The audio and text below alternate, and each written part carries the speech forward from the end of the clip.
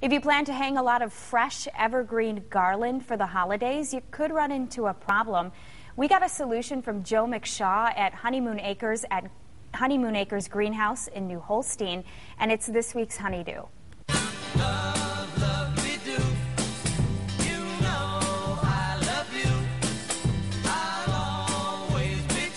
Hi, Honeymoon Acres, we get a question, common question is always, we don't need this long a piece of garland. What do we do if we want to make it a short area and we don't know how much exactly we need and we get a long roll? Well, we found the best solution for anybody to do is to take two cable ties, twist ties, and you put it on each side of the length that you want to cut. Measure out the length you need, and then you put the twist tie on each side of it.